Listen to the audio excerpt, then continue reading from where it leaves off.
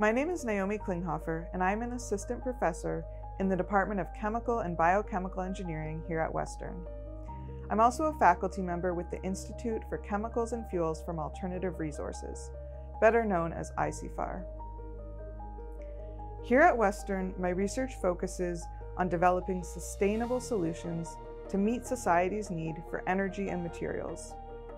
This is done by creating new processes for making renewable fuel from low-value materials such as biomass or carbon dioxide. My team also focuses on using various waste products like plastic, agricultural residues, and municipal solid waste to produce valuable products. We've recently designed a gasification process to convert mixed solid waste into synthesis gas, which can be used to make fuels or chemicals. This process produces a byproduct called char that has unique properties.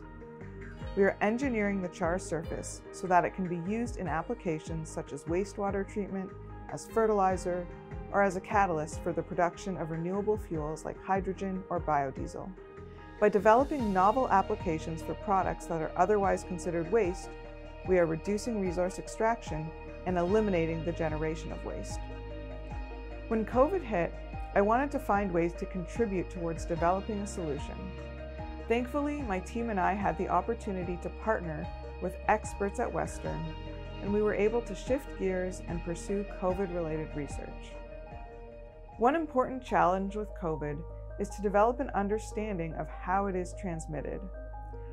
Armed with this knowledge, we can then develop approaches to reduce transmission. Led by my colleague and fellow Western engineering professor Eric Savory, our research focuses on understanding how COVID is transmitted and how it deposits on different types of surfaces. We develop systems to introduce gases or liquids into different reactors. In order to understand human transmission, we developed a sneeze simulator, which is a system that generates a pulse of liquid that is sprayed into the air similar to the way droplets would be expelled when a person coughs or sneezes. We are studying how these droplets deposit in different environments, for example, under different temperature and humidity levels, and on a variety of surfaces that have different types of material properties. Improving our understanding of transmission will help to develop safety protocols to reduce human-to-human -human transmission of COVID-19.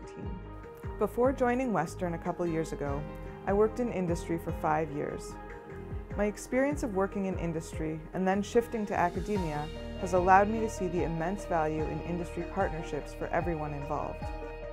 Our industry partners play a critical role in helping to ensure that the technologies we develop make it out of the lab and into society where they can make a difference.